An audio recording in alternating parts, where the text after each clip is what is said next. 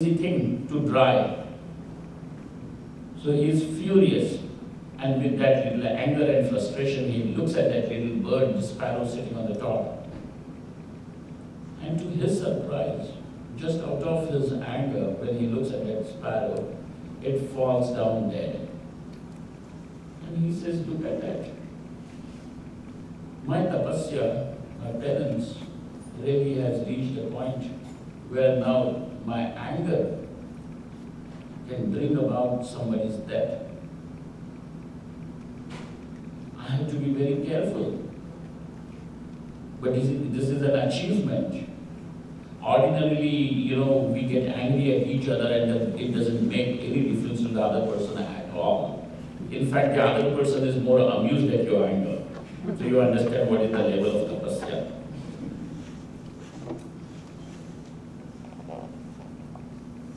And when he is amused, he teases you more. And that makes you even more angry. And since we come for discourses and any spiritual, you know, uh, what do they call, gatherings, people have a reason. They say, you are getting angry, but you are supposed to be spiritual, aren't you? And that makes you even more angry.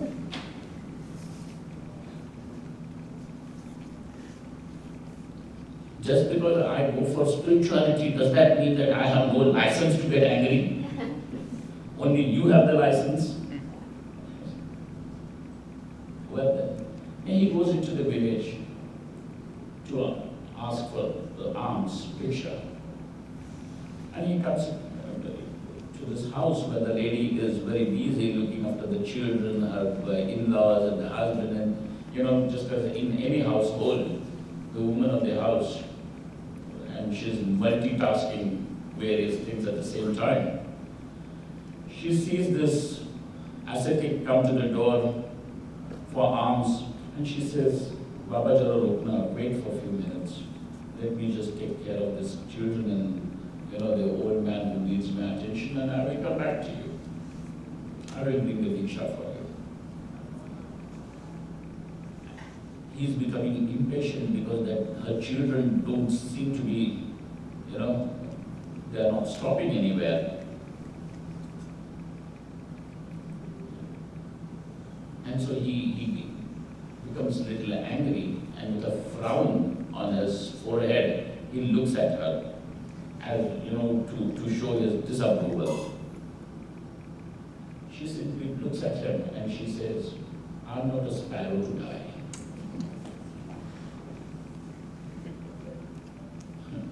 I'm not a to die.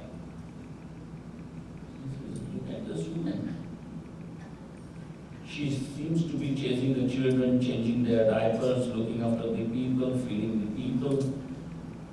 And how did she know that the incident which has taken place in the forest, which other than me nobody would ever know?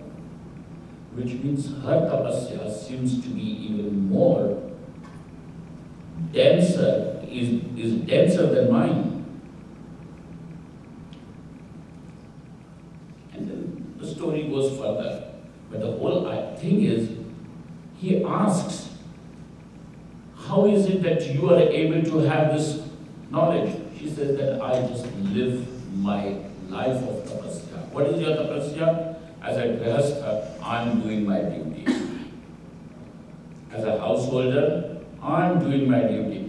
The whole thing is to tell you that even living the life of a grihastha properly itself now becomes a life of tapa, a life of inner purification, sanctification.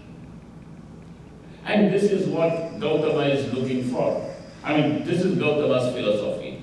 As against, we find Indra's philosophy. Indra is not really very, very different from the Daityas.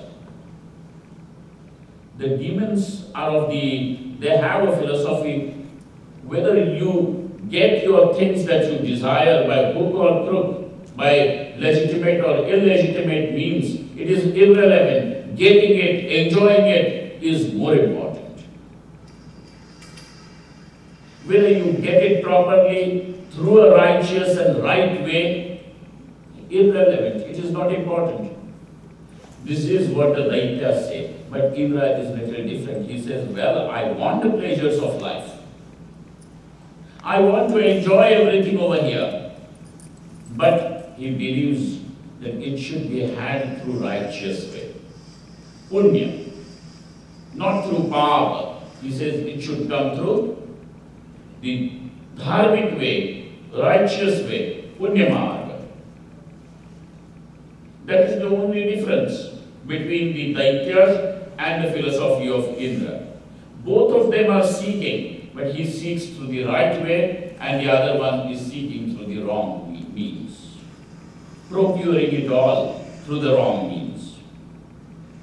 Though there is some, this becomes the basic philosophy of Indra, yet you will never know when Indra also slips to the other side.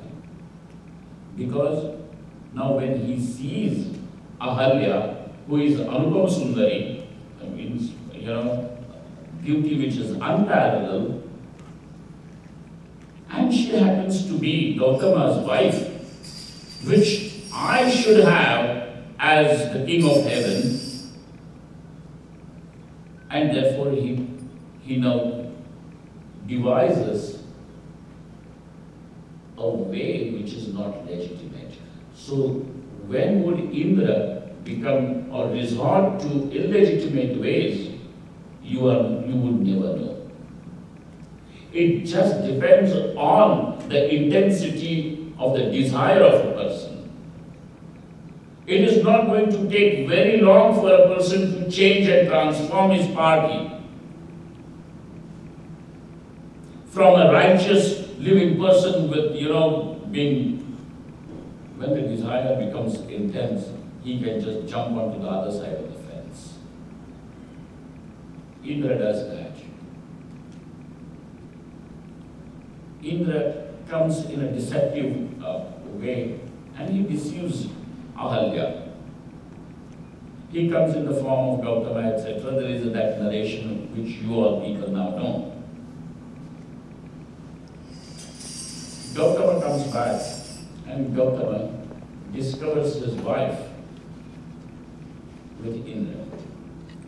And this is not something that uh, the husband, Gautama, can just accept. He is furious. Enraged.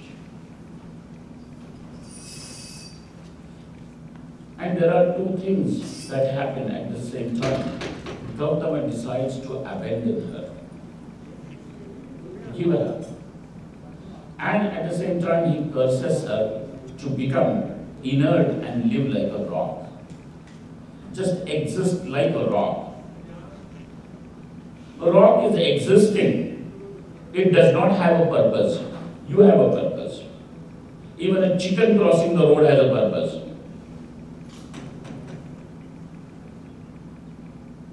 you know, the dog going around has a purpose.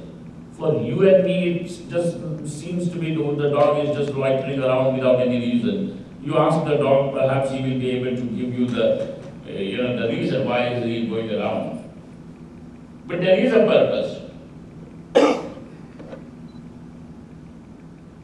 A dog has a purpose. Every living being has a purpose.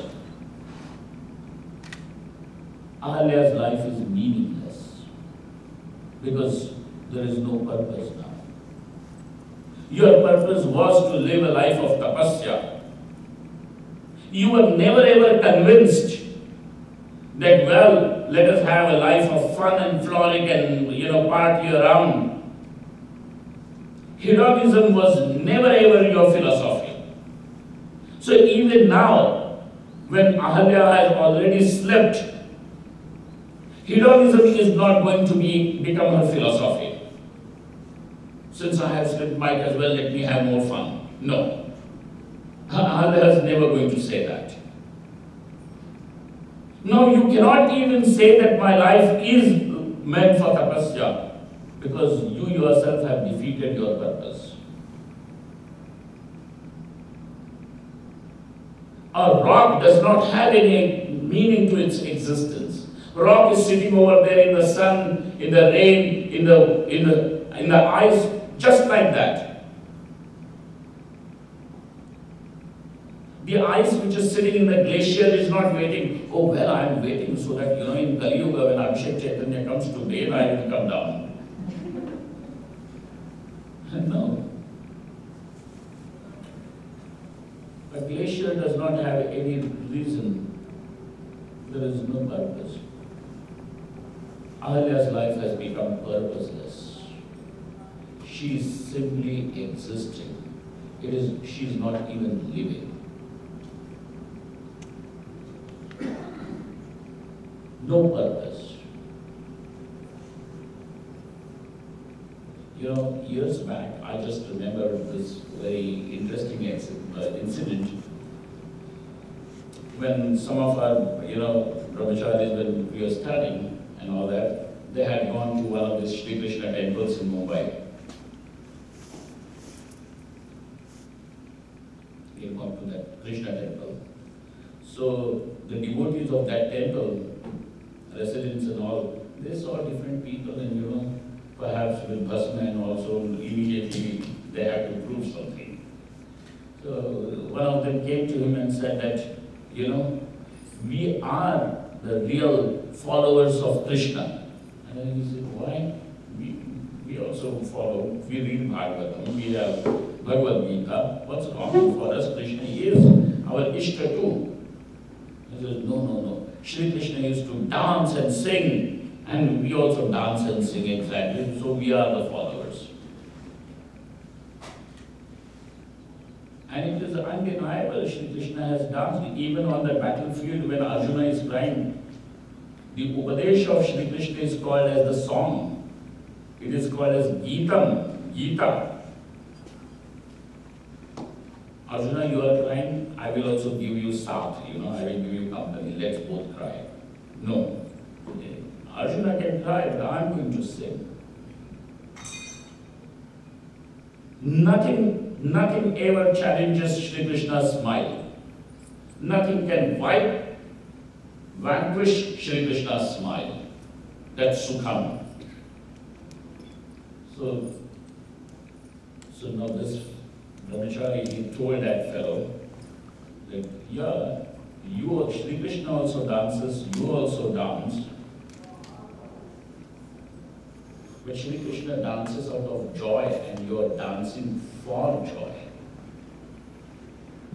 There's a whole lot of difference. There is a difference. A Jivan Mukta does not have the same purpose as you and me. The enlightened one does not have this purpose. Well, well, well, I will talk because, you know, after my talking, people will appreciate some of them will choose to become my followers and so on and so forth. No need. This is not his purpose. Why are you speaking? Why are you giving this upadesha? He says, what to do? There is so much of joy inside. It is overflowing. And when it overflows, it overflows as words. Can't help. So him imparting knowledge is not a display of his scholarship. Him imparting knowledge is not that he, he has sympathy uh, towards somebody who is so despicable. No. He is imparting knowledge because it is just an expression of his overflowing joy. What is the purpose of your living, Ahalya? And Ahalya says, I have lost it there doesn't seem to be any purpose at all.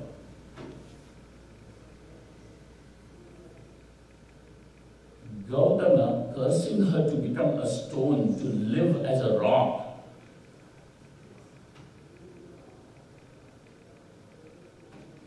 means a life which is purposeless, directionless,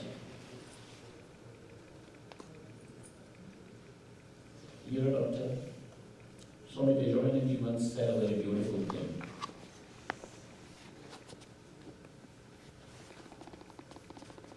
He he said a person should have some principles to live by. Choose your principles. Whatever it may be, but have a principle to live by. Because a person who does not have any principles at all, who does not stand for anything, falls for everything.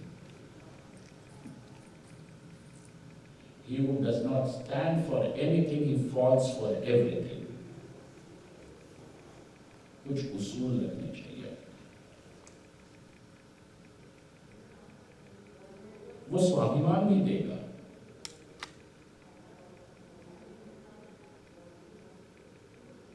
अहंकार गलत चीज़ हो सकती है स्वाभिमान आवश्यक है